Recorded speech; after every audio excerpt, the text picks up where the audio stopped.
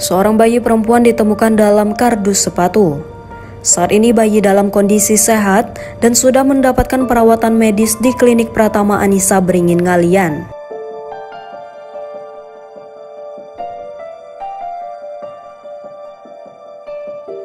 Bayi tersebut selanjutnya dibawa ke rumah sakit Tugu untuk mendapatkan perawatan layak. Bidan klinik Anissa Sartini mengatakan bayi dalam kondisi sehat dan normal. Berat bayi 2,7 kg dan tinggi badan 47 cm. Usia kehamilan ibu bayi antara 39 minggu hingga 40 minggu.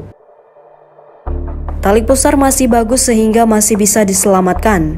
Ia mengatakan bayi kini sudah mendapatkan perawatan selayaknya bayi normal dengan memberikan imunisasi dan diberi susu. Bayi dalam keadaan sangat sehat lantaran mampu menangis keras dan mau minum susu dengan lahap. Ia memperkirakan bayi baru dua jam dilahirkan sampai ke klinik sekira pukul 14.30 waktu Indonesia Barat. Berarti diprediksi bayi dilahirkan pukul 13 waktu Indonesia Barat.